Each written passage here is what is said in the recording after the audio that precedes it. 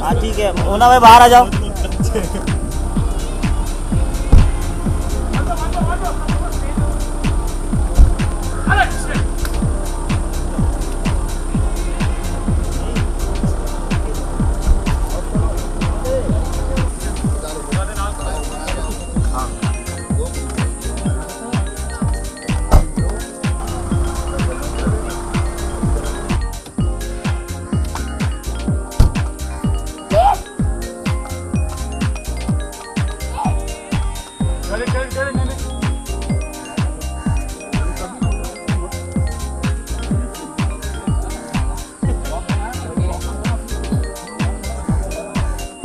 संजीता हम देख रहे थे यहाँ पर खून से लथपथ देव थे। आप मौजूद थी गाड़ी से उठकर भाग रही थी। क्या है ये पूरा माजरा वेल well, हर हफ़्ते हम एक बहुत ही इम्पोर्टेंट सीक्वेंस शूट करते हैं और ये सीक्वेंस में आप देखेंगे देव बुरी तरह से घायल है। किसने किया है?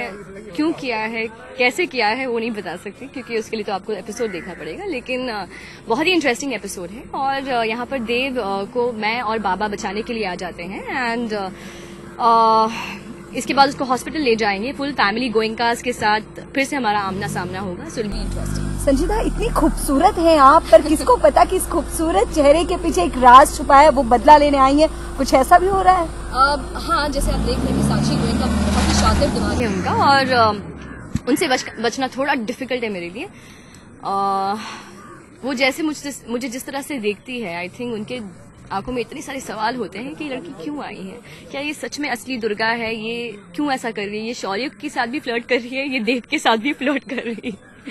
तो बहुत ही कंफ्यूज है सब लोग, बहुत ही कंफ्यूज हैं और मुझे करने में बहुत मज़ा आ रहा है यू नो बिकॉज़ मैंने पहले कभी as a actor as a character नहीं किया है and I think as a lead भी I think it's very challenging for me to do something like this इसलिए तो फ्लर्ट करती है तो आमिर कभी कुछ कहते हैं कि वाह संजीता तुम तो बहुत ही छुपे रुस्तम निकले uh, well, आमिर कहते हैं कि सेट पर uh, जब एक्शन होता है तो जितना फ्लर्ट करना है कर लो।